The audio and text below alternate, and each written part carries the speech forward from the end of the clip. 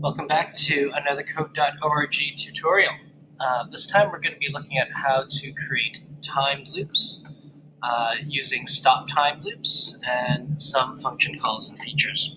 So on the left hand side over here uh, I've got a quick little demonstration and the way this works is it's just a basic timer. So if I hit the start button it starts counting down. We can prematurely stop it and then we can also reset it as well, and then begin the whole process again.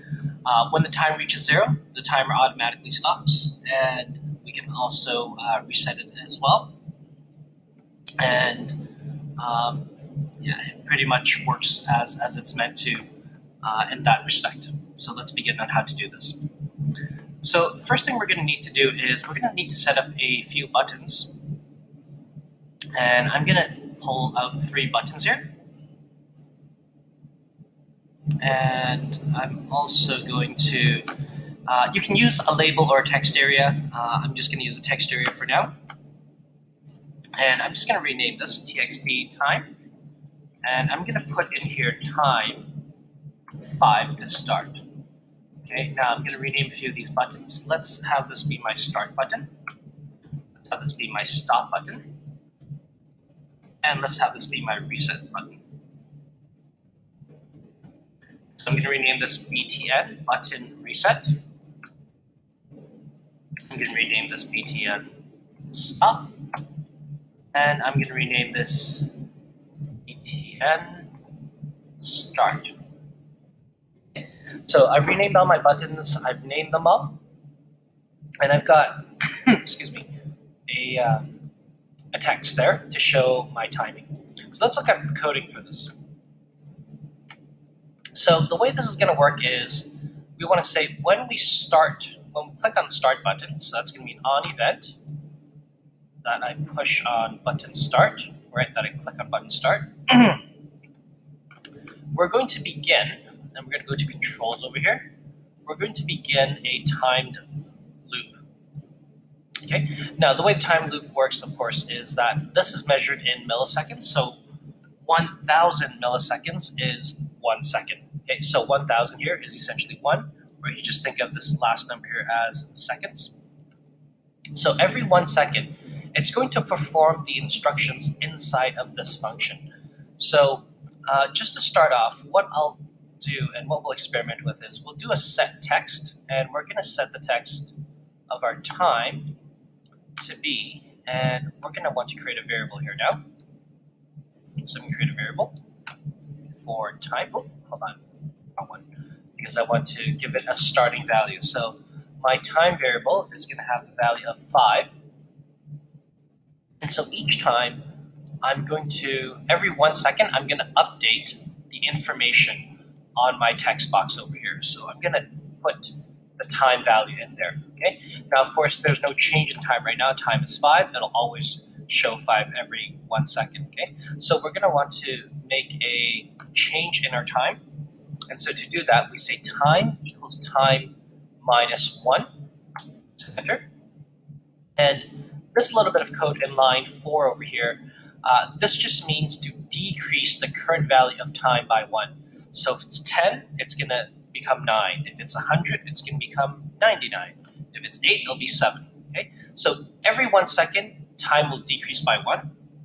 So that seems to make sense. And then we update the time of our text box after we've modified it. Okay, so remember our everything in here still operates in sequential order. So this, the time equals the time minus one, the subtraction of the time needs to happen before we display it. So let's see this in action first. Let's run that and hit start. Okay, and it appears to be working properly. Now I took away the um, the little part before that that indicates it's a time. So just to uh, add that in. We put a double quotation and a plus. And uh, this just means, this is actually called a concatenation operation. Uh, fancy word just means we put things together. Okay, so I'm going to put time, colon, I'm going to put a space just so that uh, when it shows, it'll kind of space that out a little bit. Okay, so run that again. Okay, that's looking good. It's decreasing. Okay, now you'll notice that um, if you're watching over here before, the time uh, just keeps going down. And so we'll need a way to prevent that from happening. And to do that, we're going to go into controls. And I'm going to pull out an if here first. Okay, so after I decrease the time, after I set the time, I'm going to do uh, a condition. I'm going to get the computer to evaluate and check something for me. So I'm going to check if the time is less than or equal to zero. You could say equal to zero because we're only decreasing one at a time. Um, but often I like to go a little bit further. Okay, so if the time is less than or equal to zero, what we're going to do is we're going to cancel, we're going to stop this time loop. Okay, so let's see this in action. Run that, start. Right, it's decreasing, decreasing, decreasing, and zero. Right, it stopped. Okay, so that's exactly what we wanted. So uh, just to go a little bit further, uh, we can reset this whole thing by doing something like this. Um, so we're going to go back to design. I'm going to hide this reset button, hit it. And what I'm also going to do when the time reaches zero is I'm also going to show this reset button. So show element, going to show the button again. What are we going to show? We're going to show the reset button. Okay. Now, of course, our reset button doesn't do anything. So even if we ran this and we spam clicked our reset button, we, that's because obviously we haven't written the code for what happens there. Okay, so let's do that right now. On the event that we click on the reset button, uh, we're going to uh, have to do two things. Uh, the first thing we're going to have to do is the variable time has reached a value of zero, right? That's what we're showing here. So we're going to have to reset our time value, just like up here, uh, but without the var. var means we're creating a variable. Okay, so once the variable is created, we don't need to recreate it, okay, but we need to reset it or reassign the value, as I like to say. So time equals five, or time is assigned the value of five. Okay, so this will reset the entire program. Let's do that. Okay, there's one more thing that we should do as well, which is we should update this value. Okay, so if we reset it, so actually time has actually changed to five, but we don't see that because we haven't updated this text box yet. But if we start it, okay, we do see that it suddenly counts back down from four. So let's just start it off as well. So let's do another set text. Where's my set text? Uh, right here, okay? So let's also set the text as well set txt time to, and here we actually just put time, colon, and if we want, we could actually just do exactly that because we've already reset it to 5. So let's just check that out. Okay, and the last thing we'll look at is how to get the stop button working. Okay, so reset, right, perfect, start again. Okay, now notice that uh, the reset button still exists here, so we can reset at any time, and it'll keep counting down.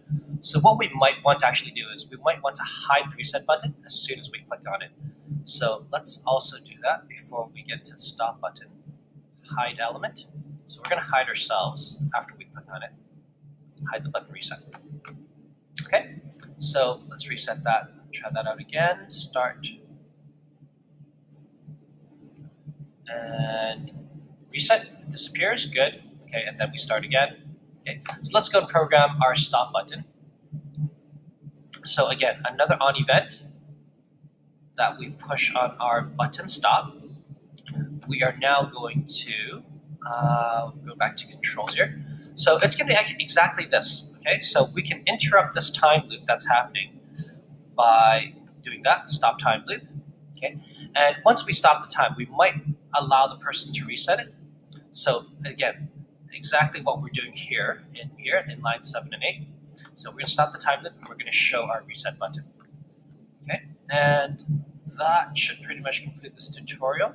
I'll do one last uh, test and just to make sure that this works.